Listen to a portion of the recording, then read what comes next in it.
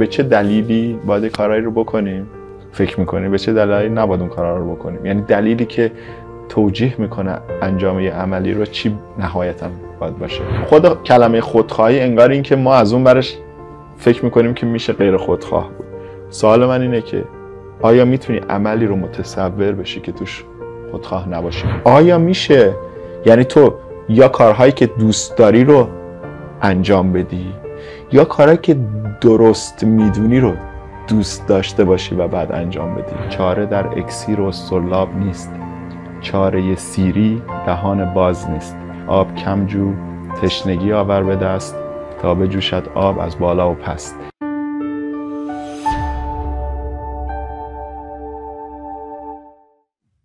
من می‌تونم بگم چیا دوست دارم. اینا اینجوری راحت‌تره اونجوری اونجوری برنامه کلا دو سه دو سه تا غذا دوست داره. تو. آره احساس می‌کنم بر غذا مثلا چی؟ خودم فکر نمی‌کردم ولی خب اطرافیانم میگن بعد غذا. بگو من بهت بگم بعد غذا نه. که به شما باشم مثل بیشوری میمونه. نه، شما- خودش. نمی‌فهمه. آره مثلا. مثلا گوجه اینا دوست داری؟ چی دوست نداری چرا؟ همه چی دوست دارم نمی‌دونم چرا به من میگن بعد غذا. بر, بر چی به من میگن بعد غذا؟ یعنی هر چی خب مثلا چی؟ بگه. بابا یه کدومتون مثال بزنین دیگه. اصلا سوشی که نمی‌خوره. چرا می‌خورم می‌خوری؟ آره. الان همه چی یه, یه, یه مدل خاصی ساخته نمی‌خوری. آره آره. خب این خیلی اون دیگه رایجه. سوشی نیست این خیلی دیگه. رایجه دیگه خام کالیفرنیا. نخوری. آره تمپورا و اینا دوست. آره آفرین. این خیلی رایجه که بعد. دیگه مثلا گوشتای خوک و اینا که کلا اصلا نمی‌خوره. مزاحمش نمیشه. اون که خیلی هوشمندانه است باری آره. کردن آره. ولی گوشت مثلا گوسفند و گاو و اینا رو می‌خوری. بله می‌خوریم گوشت گوسفند و گاو. چه خورشتی رو دوست نداری اصلا؟ نمی‌تونی بخوری. برنامه زردی چه برنامه زردی گوشت بامیه. دوست نداری. نمی‌دونم اصلا. من کلا من چیزی که ته ظرفم آشغال بمونه رو دوست ندارم. مثلا دوم قصه بامیه خون میمونه؟ داشته باشه دوم بامیه باشه سیخ داشته باشه نمی‌دونم ماهی مثلا سیخ دیدی الان یا کلی چی هست شده آره. چی کن دوست نداری چیزی از دهنت بیرون. بیاد دوست داری فقط بره تو آره چیزی. الان منم. آقا شما چیزی نگو. اینا حرفای شما. نگی لگن بقیه هم نمیگن لگن. اجازه بده زندگی ادامه پیدا یعنی. هممون خودمون بزنیم به بیشوری. نه به- به نفهمی ببین. اجازه نمیده رضا. آقا بس بس استخون تو کجایی کاری منم همونو دارم میگم. خب. شما کجا به؟ نظرم به نظرم بامزه است. میگه من فقط باید بره تو. میگه من نمی‌دونم چرا من میگن بعد غذا من همه چی می‌خورم واقعا. به نظرم من یه بهتان بزرگ بیش نیست. شاید. به خدا به خدا. داشتی کامنت ها رو میخوندی؟ کامنت ها رو بخونیم؟ یه سری کامنت بخونیم. یه سری کامنت بخونیم با قشنگه دیگه. یه سری از علیرضا تعریف کردن. اصرار داره برای اینا. آره. حالا مثلا بذار- 1500 تا message در مورد حسینه آقا من از. اول همه رو می‌خونم. خب اینو ولش کن. بی نظیر بود. این صمیمیت و صداقت و کلام دلنشین همتون. هممون.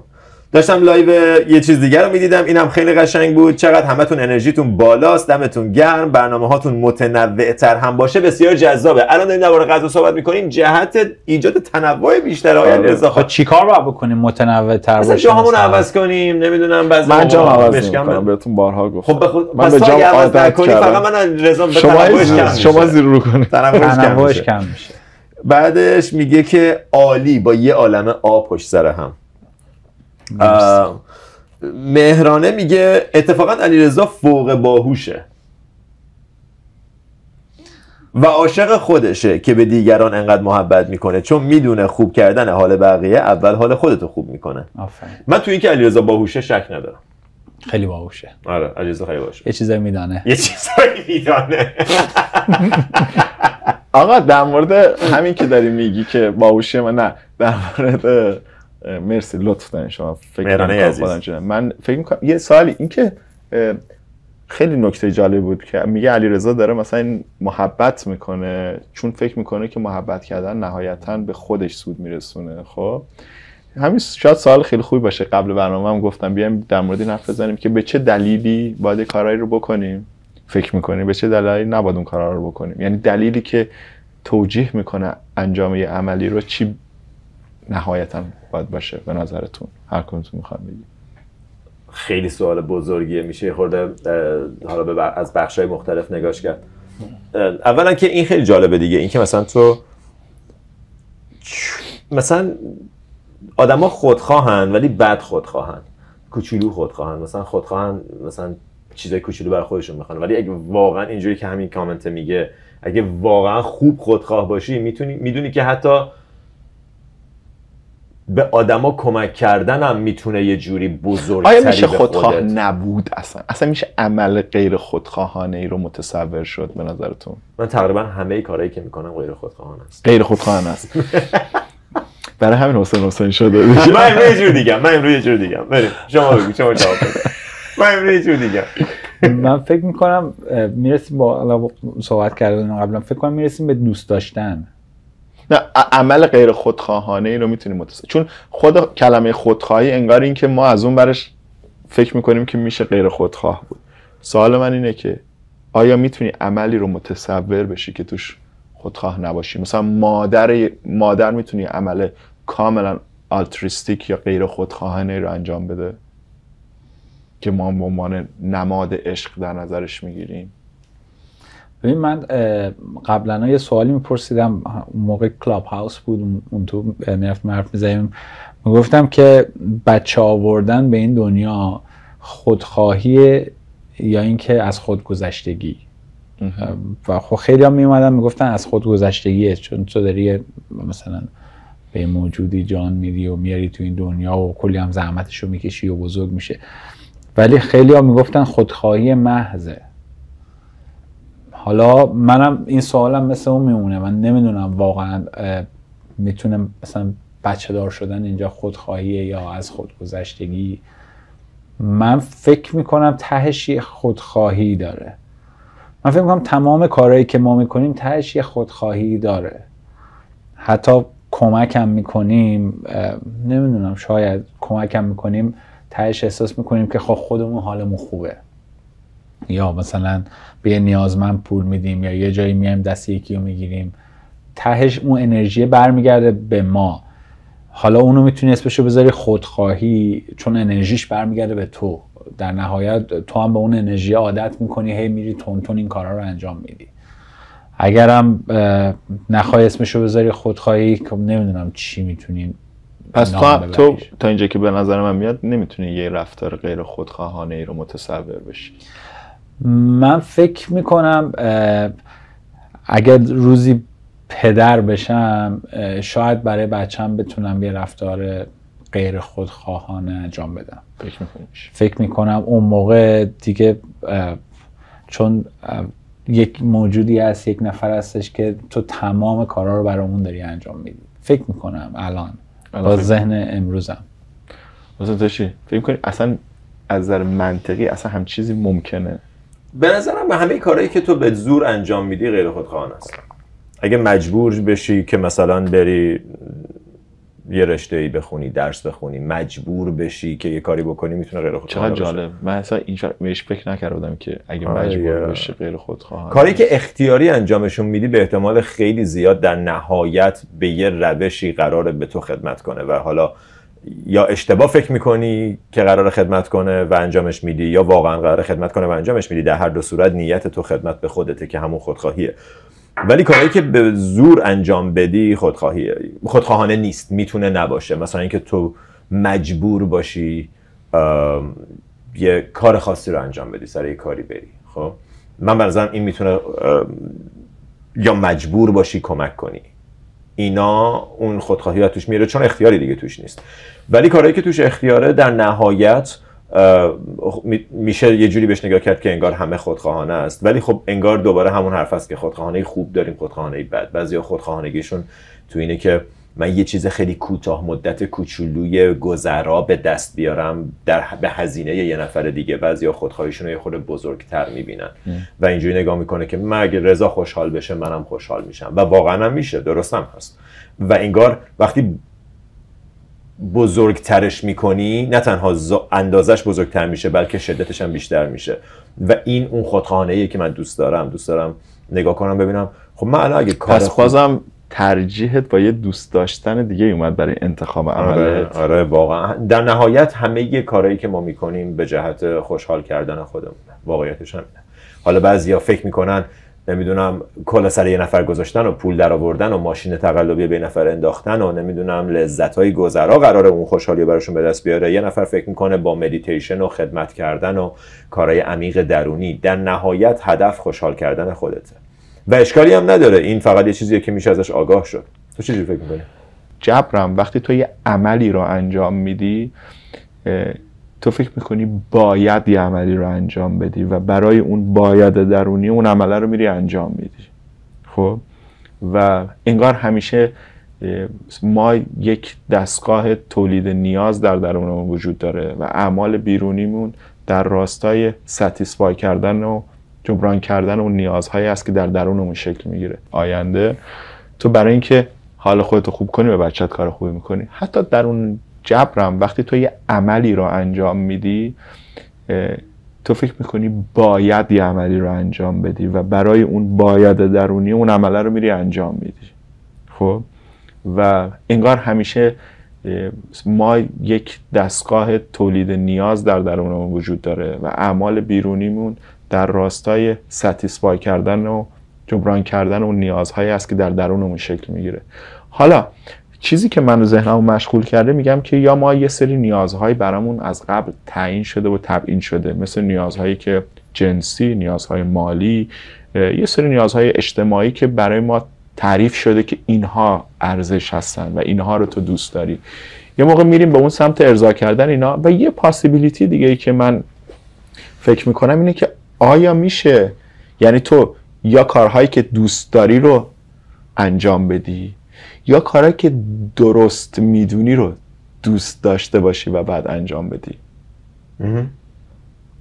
که این شاید بشه یه مقدار از اون کم کنه. چون من نهایتا حالا یه جمله هم تو اینستاگرام نوشته بودم که ما در زندان علایقمون زندگی می‌کنیم. علایقی که در شکلگیریشون شاید کمترین نقشی نداشتیم. و با ایده آزادی دنیای مدرن انگار به یه هویتی اینا رو من دوست دارم. حقمه این کار رو بکنم. ولی یه لحظه یادمون رفته که انگار شاید اینم یه مدل بردهداری شده. حالا یا اینتنشنال یا به صورت اه، غرضی یا نه. ولی ماجرا سر اینه که ما قبلا بهمون به زور بردهداری اینجوری بود که به زور می‌زدن تو سرمون که برو این کارا رو بکن این کارا رو نکن. ما هم هر موقع می‌تونستیم از زیرش در می‌رفتیم. ولی دنیای مدرن انگار روشش این شده که ایجاد علاقه در ما می‌کنه. بعد به ما میگه برو آزادی هر کاری دلت می‌خواد بکن. خب منی که برده و اعتیاد پیدا کردم به اون علاقه وقتی ولم بکنید دوباره میرم همون کارا رو می‌کنم. نمی‌دونم به این گیر افتادم. خیلی جالبه آره. نگاه خیلی. جالبه. این من فکر کنم این ایجاد علاقه دست دولت مردم اون بیزنسمن گنده است. و اینا ایجاد علاقه می‌کنن. چیزی که برای خود من شاید چند سال پیش اتفاق افتاد اینه که یک سری بیزنسمن گنده میان ایجاد علاقه می‌کنن میگن که آقا تو الان بعد آیفون این نامبر رو بخری. تو باید الان ماشین اینو داشته باشی. و ما چون درونمون دوست داریم در نهایت درونمون دوست داریم که دیده بشیم. دوست داریم تو جوامع دیده بشیم. دوست داریم یه نفر میاد بگه او چه لباس قشنگی. پذیرفته بشیم ها؟ پذیرفته بشیم به قول که و به قول گفتنی. یک نفر میاد بگه او چه ساعت قشنگی چه لباس قشنگی.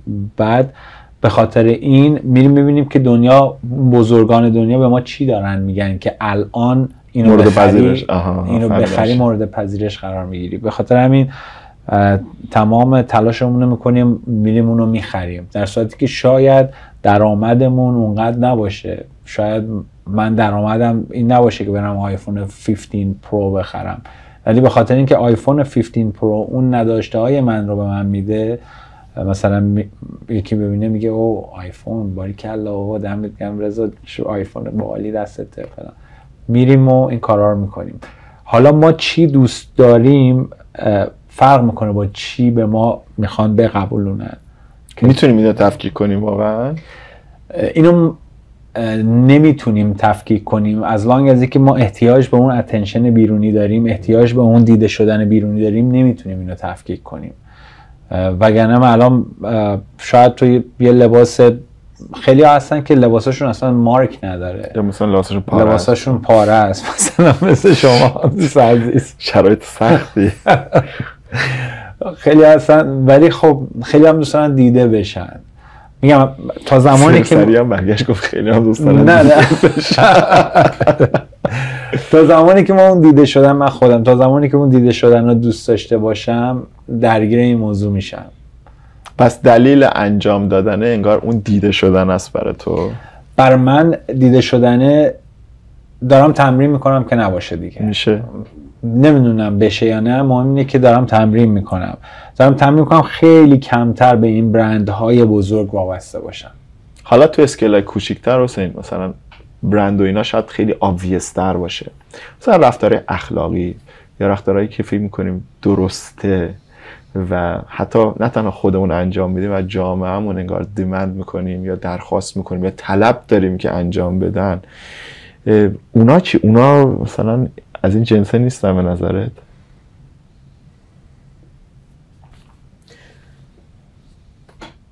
خیلی یهو بحث عالی شد دیگه یعنی واقعا همین که داری فکر می‌کنی آره، خیلی دوست آره، خیلی دارم قشنگه. یعنی این آدم یهو یعنی میره یه واقعا جایی که واقعا یه چیزیه که قشنگ ریل تایم داری بهش فکر می‌کنی و تو خودت می‌بینی و بعد صادقانه به خودت نگاه می‌کنی و می‌بینی که ام، چقدر چیزایی رو خواستیم که اصلا نمی‌دونستیم حتی برامون خوبه و چقدر چیزایی رو انجام دادیم چقدر تلاش کردیم برای به دست آوردن چیزایی که واقعا نیازمون نبود. فکر کردیم نیازمونه و باور کردیم که آیفون نیازمونه در حالی که نبود. و من به نظرم میشه آدما یه خورده شروع کنن به به ایندیپندنت که یه خورده برای خودشون فکر کنن. واقعا تو یه پروسه هست واقعا اصطلاح فارسی نداره و به نظرم اصلا نداره. اگه شما می‌دونین بگین و دوست دارم بچه‌ای هم که اگه دارن گوش میدن اگه کامنت می‌ذارن واقعا ببینید برای این اصطلاح معادل فارسی وجود داره یا نه و اون آن لرنینگه. ما لرن می‌کنیم یاد می‌گیریم و بعد یه پروسه هست به نام آن لرنینگ. تو چیزایی که یاد گرفتی رو یه کاری کنی که یاد نگرفته باشی. آن لرنش کنی. و ما اینو تو فارسی نمی‌دونم چجوری میشه. فراموش کردن نیست. متفاوته با آره، فراموش درسته. کردن. و این کاریه که خیلی بهش اشاره میشه. بزرگان خیلی به ما توصیه می‌کنن که کار ما کار به دست آوردن عادتهای جدید پیدا کردن چیزهای جدید توی خودمون نیست. آن لرن کردن چیزاییه که بیخودی باهاش بهمون شدیم. آره. بیش بی خودی به همون گفتن تو اینجا خوشحال میشی تو اینو به دست بیاری موفقی تو اینو به دست بیاری به چیزی که دلت می‌خواد می‌رسی. و دروغه. واقعیت نداره. اصلا واقعیت نداره که تو اگر به چیزایی که می‌خوای برسی حتی اگه برسی خوشحال میشی. اصلا واقعیت نداره که تو اگه الان یه آرزویی تو دلت به دستش بیاری خوشحال میشی. و این خیلی نکته مهمیه که ما حتی نمی‌دونیم چی آرزو کنیم. و وقتی آرزو می‌کنیم آرزوامون اسیرمون می‌کنن. آرزوامون میشه آفت جونمون. هرس و طمع و گرفتاری و استرس و اینا همه از سر آرزوهایی که داریم دیگه که من بیشتر می‌خوام. و اصلا حتی نمی‌دونی که اونو می‌خوای یا نه. اصلا کجا اومدن؟ اصلا کجا کتاب؟ شازده کوچولو حرف خوبی زد گفت اهلی کردن یعنی ایجاد علاقه کردن. و انگار اینکه جنگ ایجاد علاقه هاست تو دنیای مدرن. یعنی دارن فقط حالا سیستم های مختلف از نگاه های مذهبی بگیر. نمی‌خوام فقط برم. مثلا کپیتالیستش بکنم و همه انگار دارن سعی می‌کنن علاقه مختلف رو جایگزین کنن. مثلا تو این علاقه داشتش. تو دیگه برای اینکه همون احساس تعلقه رو به اون جامعه خیالی ذهنی داشته باشی باید تلاش کنی توی اون جامعه ذهنیه مورد پذیرش قرار بگیری. تو پوششت تو اخلاقت تو رفتارت. و انگار اون critical thinking باز اینم یه جزو کلماتی هست که توی فارسی نگاه نقادانه فکر کنم بهش. میگن. نمی‌دونم آیا ترجمه خوبی هست. بهش نه. اینم جزو تمرینایی هست که ما نداریم و آلترنتیو یا جایگزین خوبی هم برای فکر مستقل نداریم.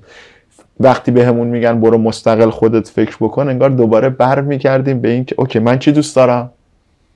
آها استقلال من در اینه که برم به اون چیزی که دوست دارم برسم.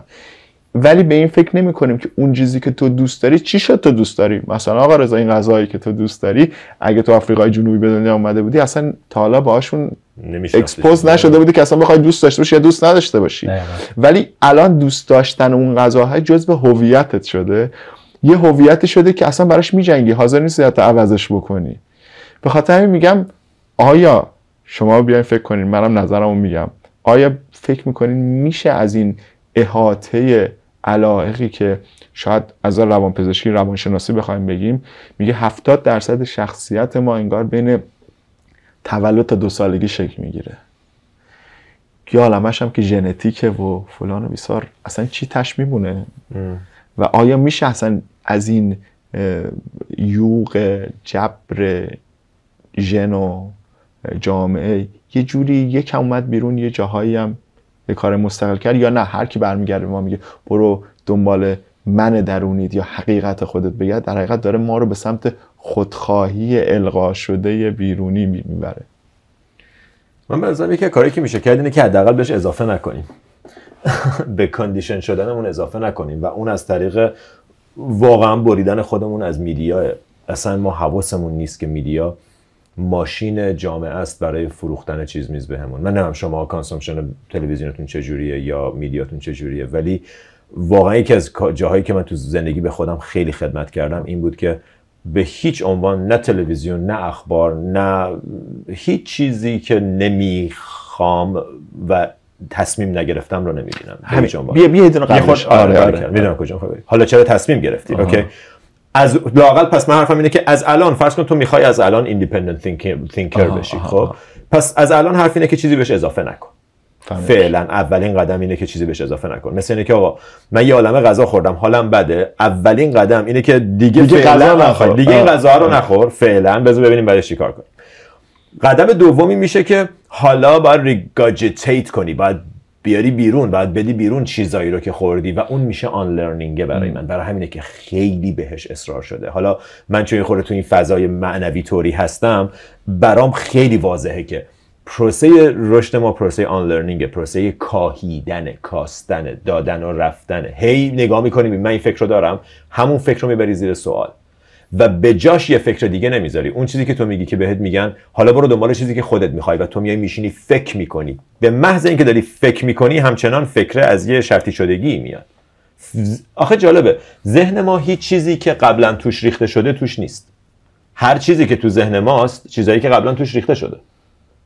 مثلا از تو می‌پرسن رضا تو کشور بلغارستان نظرت چیه؟ و تو یهو میگی هم به نظرم کشور باحالیه. بعد نگاه کنی می‌بینی مثلا چم خاله اینا بچه بودی یه بار رفتن بلغارستان برگشتن سوقاتی آوردن باحال بوده خوشت اومده عکسش رو نگاه کردی و به خاطر این این باور رو داری. در حالی که اگه چک نکنی میگی که نه من بلغارستان دوست دارم به نظرم کشور باحالیه. در حالی که فقط به خاطر اینه که یه تجربه مثبت ازش داشتی خب؟ و هر چیزی که از ذهن میاد از, از جنس شرطی شدگیه. و حالا اینجا یه خورده بحث اسوتریک میشه و من می‌خوام پاسش بدم به رضا. و اون اینه که یه جایی هست که ما بهش دسترسی داریم که ذهن نیست.